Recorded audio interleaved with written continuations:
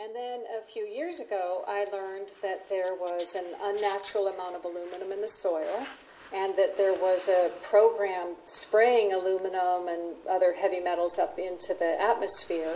And so I wanted to check it out. And that's the first way that chemtrails showed up for me.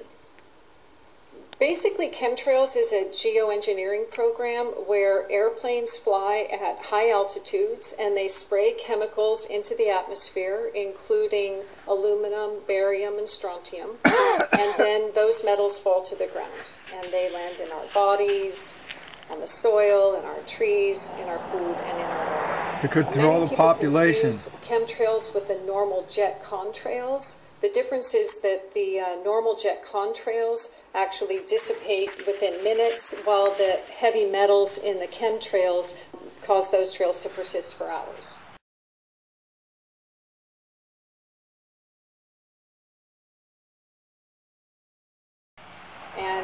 It's not a hypothetical thing. There are 32 states that already have legislation that's related to weather modification. 50 programs. The uh, U.S. agencies that are documented to be involved in it include the U.S. Air Force, the um, National Oceanic and Atmospheric Administration, NOAA. the U.S. Department of the Interior, the National Science Foundation, and um, you know, I, I, know China boasted about um, using cloud seeding and weather uh, changing uh, before the 2008 Olympics in order to keep the opening ceremony dry. So that this is happening is completely documented. It's just that you have to know where to look because it's Just look not up in the talked sky. about on mainstream weather reports. And um, this is where it gets controversial, and it's it's kind of weird because even though it's factual that there are metals in the atmosphere and factual that In those metals are falling to the in the ground, soil. um, when you acknowledge that or question the legitimacy or the legality or the safety or the morality, it becomes controversial. And really, that's sad because if you're questioning something that has such major impact on us and on future generations and on our planet, it seems to me that it should be one of the most natural and encouraged parts of life and education. Weather. Where is El Nino? Let's ask the geoengineers. Why has it not developed as we were told it would? The largest El Nino ever. Why has it not developed? And even though Redding has had, in the valley, has had close to its normal rainfall, we are not getting the normal exponential increases of rain in the mountain areas. It's not happening. Why is it, why is it not happening? Because of the level of particulates in the atmosphere. That changes the orographic enhancement effect, the effect of the mountains. So, again, it's imperative that people study the climate engineering issue and understand its ramifications. More on that in a moment. The dirty, dingy, wispy climate engineering particulate haze stripes, solar radiation management cloud cover continues to be plastered in our skies on most days over Northern California and elsewhere around the globe. I hear from people all over the globe about this every single day. Will our corporate controlled media be allowed to black out issues of critical importance that will come down to this? It's up to us, the citizens of Northern California and elsewhere, to picket in the parking lots until the people at institutions like KRCR and the Record Searchlight, our local newspaper, decide to stop blocking out critical stories and start telling the truth. Again, the weathermen at KRCR, to the weathermen, if you can't talk about the climate engineering issue, tell us.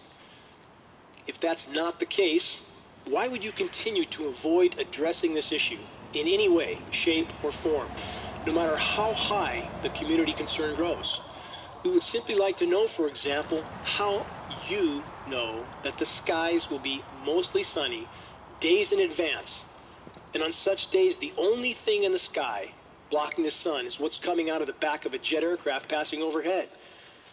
How can a meteorologist predict jet sprayed haze blocking the sun days in advance?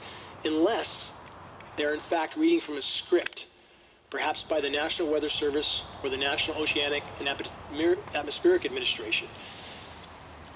Both of these government organizations have all their weather predictions modeling done by Raytheon, a massive private defense contractor.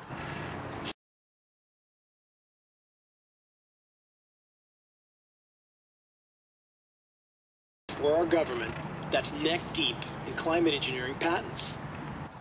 Are our meteorologists simply reading scripts?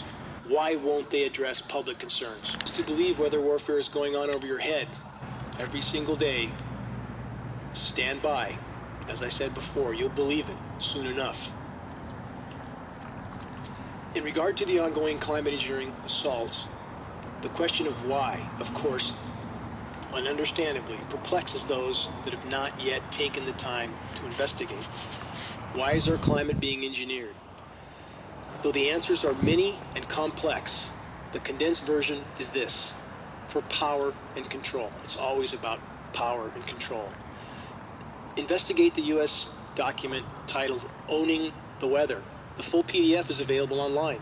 Investigate the congressional documents, the presidential documents, the patents, the history of weather warfare and weather modification. It's all there for anybody who chooses to look. If you do so, you'll understand more. Then consider that after 70 years of weather warfare, tearing the climate system apart, and along with many other forms of anthropogenic damage to the biosphere, which many don't want to admit to, all of them impacting the climate system, much of the current geoengineering assault on our planet is for the purpose of masking the true damage already done to the climate system while at the same time inflicting even more overall damage to the process. Again, this is the pharmaceutical mentality for planet Earth. How many examples do we have to see from the human race? This is, this is the mentality of our modern industrial society to very destructively try to treat symptoms while making the core of the problem far worse overall. This is the society we live in. Of us, especially those who have made the decision to have children, we don't own our lives. We owe them to our children and to all the children of the once thriving, now dying planet Earth. So how's the global economy doing? I've talked about this in previous shows, most shows. For those that are still blindly fixed on the global economic facade, forget about it and move on to something that matters. The notion of endless global economic expansion was always a complete delusion. And it's not collapsing in some sort of cyclical fashion at this time. It's collapsing in a manner from which it will not return. We are not in some sort of, again, some sort of cycle that's going to somehow magically bounce back. As stated in previous episodes, the implosion of the biosphere and nature's ability to produce will guarantee the already unfolding economic meltdown. And here's a few recent headlines on that front that we don't see from our corporate mainstream media whose job it is to pacify us and put us to sleep. One headline A whiff of panic, global meltdown progressing. Second headline European bloodbath spills over to U.S. markets. Deutsche Bank and CoCo bonds collapse. Shares at record low. Another headline European banks face major cash crunch. Another headline Day of Reckoning. The collapse of the too big to fail banks in Europe is here.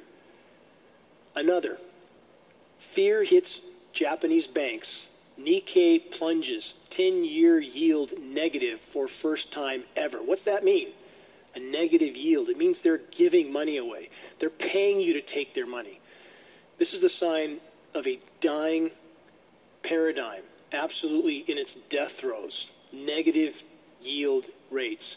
And we're about to enter the same territory in the US. It's coming. Another headline Capital flight intensifies in Italy and Spain. Curiously, money flows into French banks. People are scurrying for any sort of safe cover. Good luck finding it. Two more headlines The return of a crisis. Suddenly, banks everywhere are in deep trouble. Final headline Sears Holding Corporation, that's SHLD, speeds up store closings after disappointing holiday season. Things are not rosy. We just have a massive population looking through rose colored lenses. That's all. Trouble's not just coming, it's here. It's now. The downward slide will continue to accelerate on all fronts. No matter the season or occasion on the ground, the climate engineering fallout continues to rain a chemical cocktail of contamination down in the entire web of life. And I would ask again, how long can we hold our breath?